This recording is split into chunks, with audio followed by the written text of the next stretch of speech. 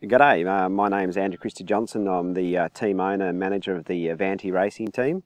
Uh, we're a UCI Continental team. Uh, we're actually ranked uh, number one in uh, in Australia currently.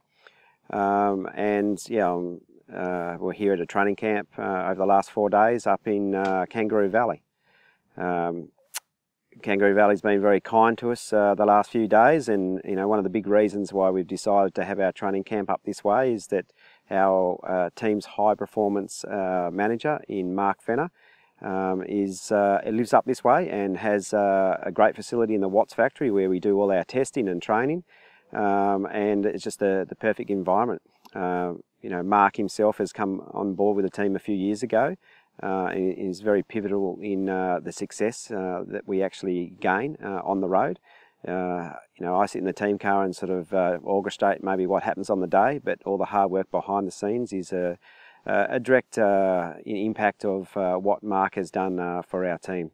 Uh, it's, you know, Mark really has been able to take our team, you know, to a far more professional level. I used to coach a lot of the riders myself, and when we got Mark involved with the team, uh, you know, he just really built up a lot of systems within our uh, within our team, and, and, it allowed us to really look at uh, each of the riders uh, individually and, and focus on uh, on their personal goals.